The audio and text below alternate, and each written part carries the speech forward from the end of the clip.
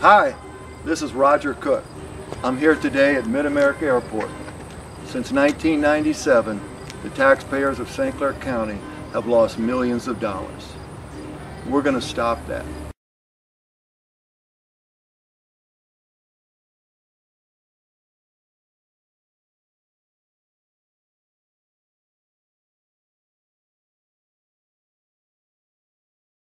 I'm Rodger Cook, and I approve this message.